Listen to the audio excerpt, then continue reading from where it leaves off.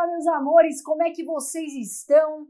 Hoje, nesse vídeo, eu vim falar o meu maior erro que eu cometi investindo meu dinheiro. E não é um erro pequeno, foi um enorme erro que eu acho que muitos de vocês podem ter cometido ou e não sabem como mudar, de repente. Eu vou falar tudo aqui, você vai entender melhor. Ou eu quero evitar você de cometer de qualquer jeito, tá bom, pessoal?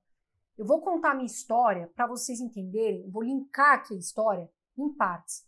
Eu resolvi fazer esse vídeo porque, primeiro, eu acho que tem muitas pessoas que vão se identificar e de repente vão falar: Poxa, eu cometi esse erro que eu devo fazer agora, dá para mudar? Dá.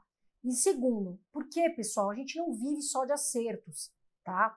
Todo mundo pode errar, provavelmente vai errar, mas nesse meio do caminho, se você puder errar menos, ouvindo pessoas que já passaram por isso, que se identificam com o seu problema no mundo dos investimentos, estudar mais, que foi um erro que eu cometi, de não ter estudado, você pode evitar. Vamos lá, pessoal, qual foi o meu maior erro? Colocar um milhão de reais em uma previdência privada. Carol, por que o erro? Número um, eu coloquei tudo num lugar só. Isso eu tinha uns 27 anos, tá, pessoal? Número dois, a previdência era ruim. Existem previdências boas, existem previdências que as pessoas vão deixar o dinheiro ali uma parte e são previdências que sim devem ser estudadas com calma? Sim, tem. Não são todas que são ruins, tem suas vantagens. A gente vai falar um pouquinho aqui, algumas vantagens, algumas coisas para você prestar atenção. Mas no meu caso, eu coloquei um milhão de reais na época numa previdência vendida por um gerente de banco que não era boa. Por quê? Faltou conhecimento, faltou ouvir outras pessoas que sabiam do negócio, que queriam o meu bem, que já tinham mais conhecimento nos investimentos. Faltou ter a noção de que estava errado, tá? E tentar arrumar o mais rápido possível. Então, pessoal, veja, eu não diversifiquei. Eu coloquei tudo num lugar só, meu dinheiro, um erro fatal. E por que, que eu coloquei nessa previdência? Porque eu pensava, quanto mais dinheiro eu tiver nessa previdência, mais dinheiro eu vou ter. Porque você tem a falsa ilusão, e acontece muito, de colocar o dinheiro num lugar só e achar que quanto mais, mais rende. Mas não! Você tem que ter uma carteira diversificada para buscar uma maior rentabilidade, muitas vezes. Diversificação é importantíssimo, por isso que eu puxo aqui a orelha de vocês. Porque eu errei e perdi grana, tá bom, pessoal? Perdi milhão que eu poderia ter criado muito mais dinheiro, acabei deixando ali. Número um, o erro: ouvir gerente de banco e confiar em tudo que eles falam. Observação: existem gerentes que são excelentes, existem gerentes que são bons, tá legal? Mas uma grande parte, infelizmente, estuda menos do que você muitas vezes e vai querer te vender produtos do banco, produtos ruins poupança ou uma previdência ruim. Um exemplo, a minha avó tinha 80 anos. Um rapaz falou, um gerente do banco X, tá? A gente não vou citar nomes nem bancos. Um bancão. A senhora não quer fazer uma previdência privada, que era para daqui 10 anos, porque a gente sabe que previdência muitas vezes é para 10 anos, é longo prazo, minha avó tinha 80. Isso foi uma situação em que eu estava com a minha avó antes dela falecer e corrigi na hora o gerente na frente da minha avó. Então, pessoal, saiba quem são as pessoas que estão com seu dinheiro. Ah, mas ele é meu gerente, ele é de confiança, eu não preciso estudar. Negativo. Você precisa entender tudo o que você está fazendo com seu dinheiro. Claro, tem pessoas que não têm tempo, tanto tempo. Não são aquelas pessoas que estão 24 horas olhando carteira, mas você precisa entender o que está passando. Dois, como? Peça lâminas. Ah, eu vou investir aqui. O gerente fala: faz reunião, entenda do seu dinheiro, peça lâminas de estudo. Hoje você tem lâminas dos fundos da Previdência para estudar. Então, atenção aqui. E três, não diversificar. Isso é um erro fatal, tá, pessoal? Colocar tudo num lugar só. Então, eu, Carol, não sei se faz sentido, quis compartilhar esse vídeo, porque eu acho que muitos brasileiros passam por isso, não foi diferente comigo. Coloquei um milhão numa previdência péssima. Péssima, tá, pessoal? Agora, eu trouxe algo importante para você saber. Carol, coloquei ali uma previdência ruim, um dinheiro. o que, que eu posso fazer para amenizar? Existe hoje uma coisa que se chama portabilidade, pessoal, e é gratuita, tá legal?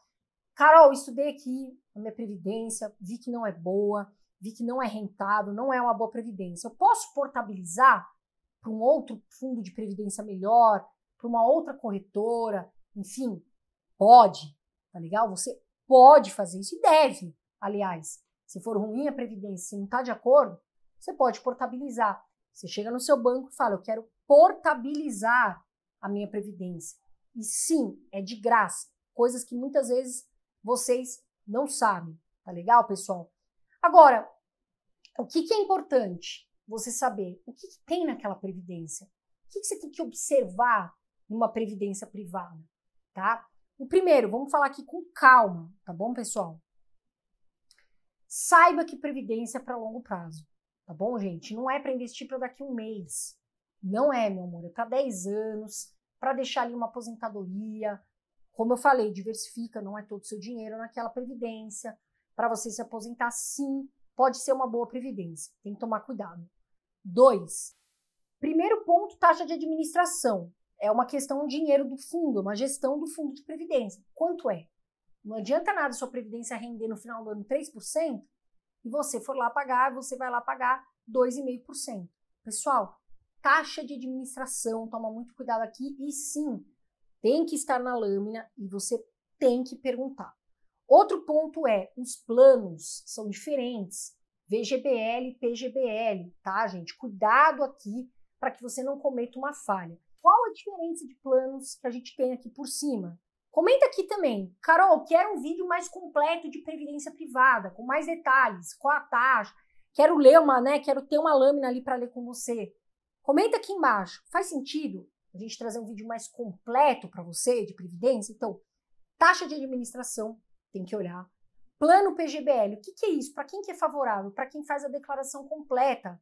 Por quê? Quem faz a declaração completa de imposto de renda, se está num plano PGBL, você pode abater até 12% da renda tribu bruta tributável. Então, Carol, vou declarar ali 40 mil, 30 mil. Você tem um desconto de 12%. Esse é um plano PGBL.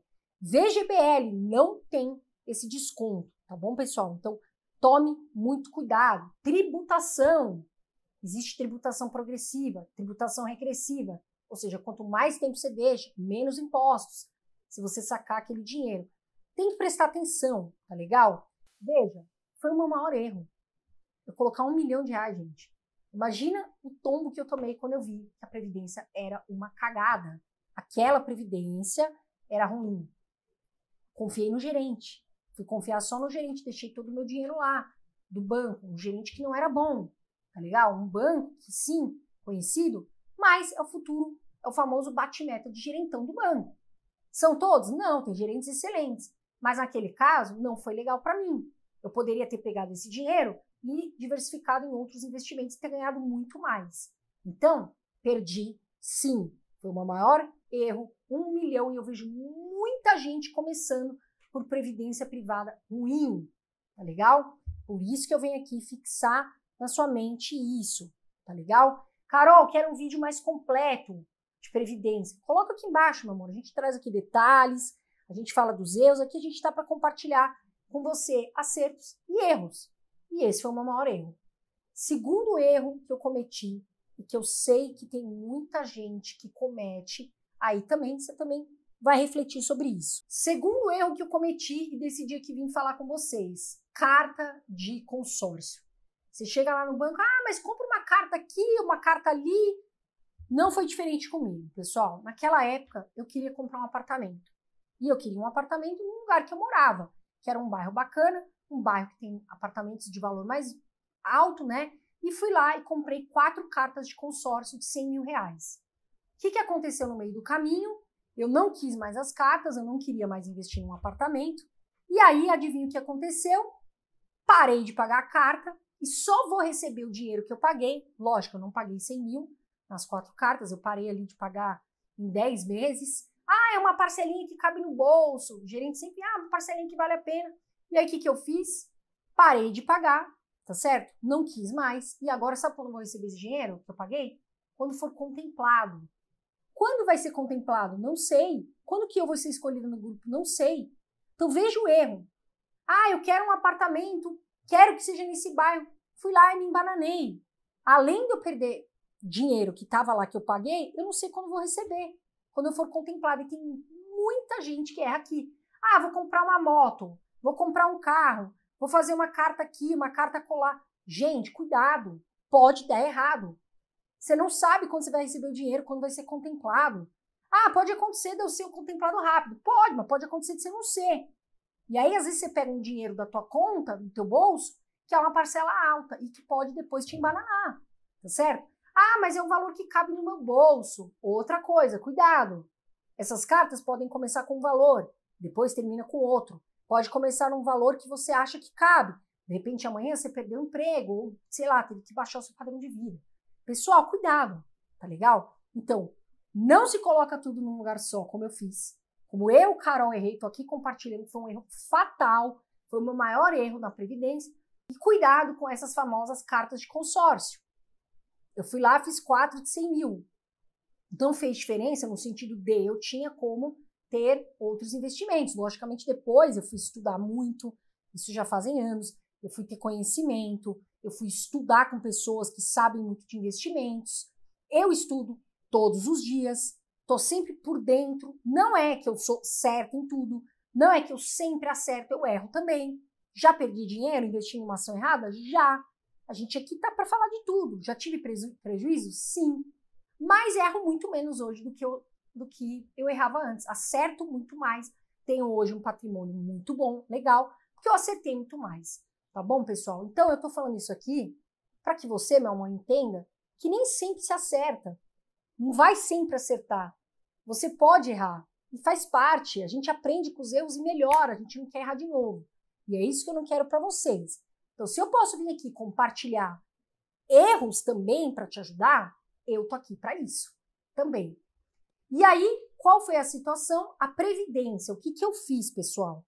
Você vai falar, nossa, Carol, mas você deixou lá a Previdência e agora um milhão. Eu portabilizei, como eu falei no começo do vídeo. Eu fui lá no banco, falei, ó, eu quero portabilizar gratuitamente. Fui para uma outra corretora, levei o dinheiro. Hoje tenho fundos que rendem mais. Até teve muita parte que eu já vendi, investi, que eu já saí da posição, investi em outros cenários, em outros produtos melhores. Então, portabilidade gratuita. E me conta aqui, porque eu sei que tem muita gente que vai lá e faz carta de consórcio de um valor alto, carro, moto, se arrepende.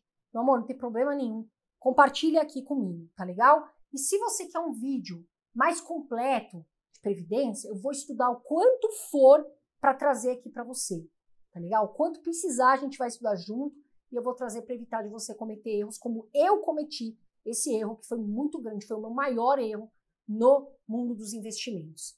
Tá legal, meu amor? Fiquem com Deus, eu sempre falo. Vou ao Brasil, quem investe futuro agradece.